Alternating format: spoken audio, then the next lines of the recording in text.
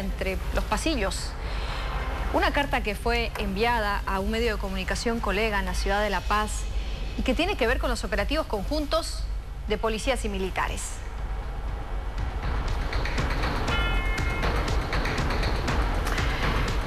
En la parte sustancial de una carta de cuatro hojas, estos militares que enviaron esta carta señalan de que son militares de varios grados del ejército, que hace varias semanas, por la emergencia sanitaria que ocasiona el coronavirus, han tenido que salir a las calles a cumplir con su deber y hacer cumplir el decreto de las, de las personas en esta cuarentena. Todo el territorio nacional, trabajo en el que dicen se han visto a diario con la policía. Tenemos que ver a diario cómo cobran coimas tras coimas de 15 a 20 sujetos que detenemos por incumplir la misma. Ninguno llega a la policía o celdas de la policía. Los policías cobran 20, 30, 50 y a los vehículos retenidos les cobran entre 100 a 200 bolivianos sin faltarle el respeto, dice la carta, a nadie. Me pareciera que esta situación representaría un aguinaldo para los policías. Lo ven como una cacería de coimas. Así no se puede trabajar, dice la carta de estos militares. El pasado 30 de abril del año 2020, en la localidad de Sencata, hubo un disturbio ocasionado por aproximadamente 50 a 70 personas, como es de conocimiento público, en el que acudimos tanto policías como militares. Aproximadamente 150 policías y 20 militares. En dicho operativo se presentó tres automóviles y tres motocicletas en total que no tenían ningún tipo de autorización ni permiso para circular y que claramente eran los líderes de la turba enardecida. Recordemos los hechos en Sencata que han provocado más de 40 personas detenidas porque rompieron abierta y flagrantemente la cuarentena. Pues a ese hecho se refiere esta parte de la carta en la que los militares dicen que en un comienzo pensaron que se trataba de gente de inteligencia porque los policías no hacían nada pero al ver que se metieron en medio de la turba y eran apoyados por la misma, se dieron cuenta de que eran los líderes de ellos. Exigen a los policías que se acerquen porque era un poco extraño que no hagan nada ante eh, evidentes lieres de ese grupo delincuencial. Los policías fueron y al parecer les pidieron sus licencias y sus identificaciones, pero no arrestaron a ninguno de ellos, ni a los de los autos, ni a los de las motos, lo que por mucho llamó la atención y preocupó, dice esta carta.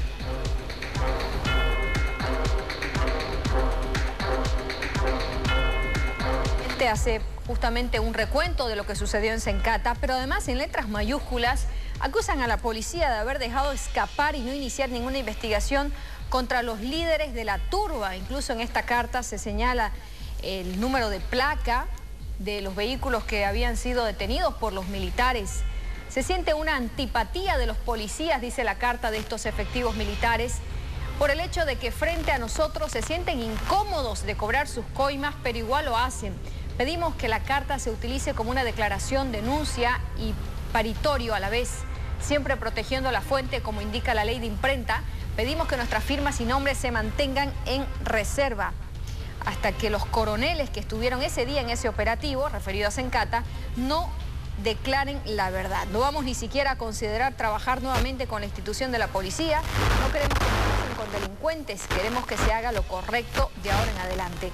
Declaraciones de los policías que estuvieron ese día indicando la verdad y que esos delincuentes entren a la cárcel.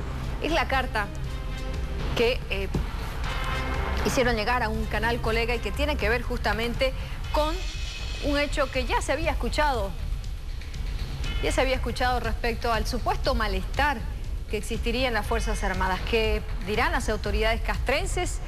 ¿Habrá efectivamente malestar o esta carta pertenecerá solo a un grupo reducido de militares?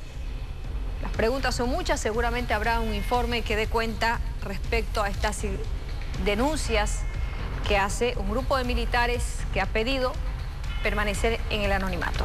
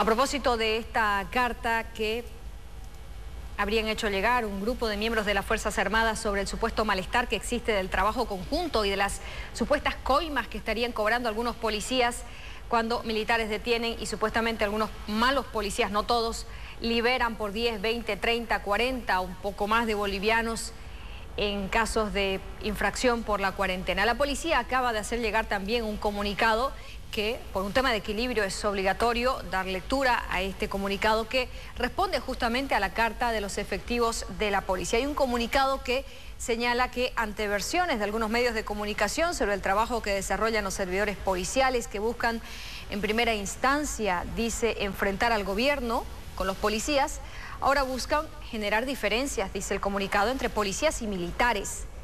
El comunicado señala lo siguiente, hay cuatro puntos que vamos a leer para mostrar las dos caras de la moneda.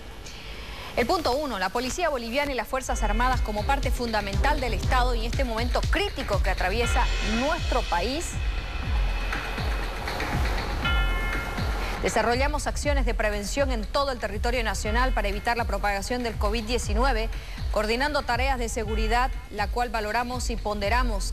Es un trabajo sacrificado. Punto dos, Rechazamos cualquier intento que melle esta sacrificada labor que va en pro de nuestra sociedad, arriesgando nuestras propias vidas y de nuestras familias. Tercer punto, cualquier denuncia contra algún funcionario público deberá ser canalizado ante instancias policiales. La Dirección Nacional de Inspectoría, a través de las unidades investigativas disciplinarias, efectúa la investigación respectiva mediante el Departamento de Transparencia realizando los procedimientos correspondientes y de darse con la responsabilidad cometida por el funcionario policial, se aplicarán las sanciones correspondientes que van desde la suspensión del cargo o la baja definitiva en casos graves, conforme a la ley 101. Las personas que emiten este tipo de mensaje pretenden distorsionar, dice el comunicado, la información ante la sociedad tratando de mellar la dignidad institucional de nuestros servidores policiales y de sus familias. Los componentes de la Policía Boliviana ratificamos nuestro compromiso de trabajo esfuerzo, sacrificio, valor y continuar en este trabajo incesante como un enemigo invisible producto del COVID-19 sin escatimar sacrificio alguno en favor de nuestra sociedad. La policía responde a una carta de un grupo de militares que denuncian que habrían malos policías que están recibiendo coimas para liberar a quienes los militares detienen violando la cuarentena.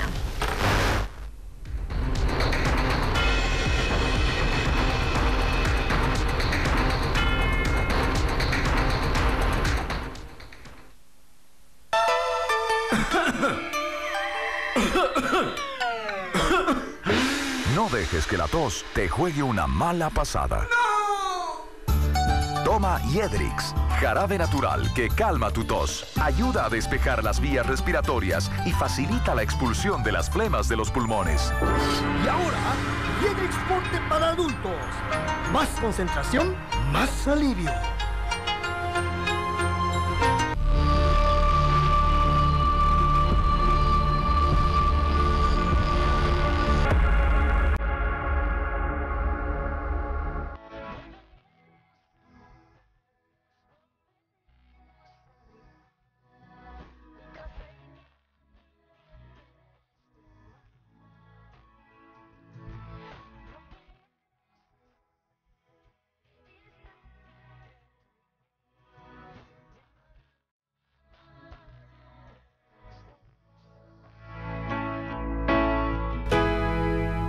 Esta empresa está regulada y fiscalizada por la ATT. El poder blanqueador del carbón activo presentamos la pasta dental Foramen Charco con todo el poder blanqueador por sus agentes bioadhesivos. Potencia en la eficacia del carbón activo, eliminando las manchas en los dientes, la placa bacteriana y el mal aliento, sin dañar el esmalte dental.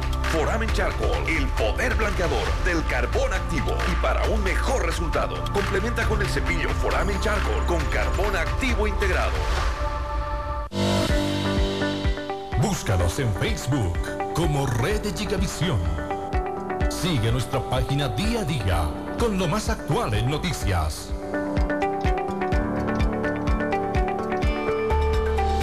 Facebook.com Red Gigavisión.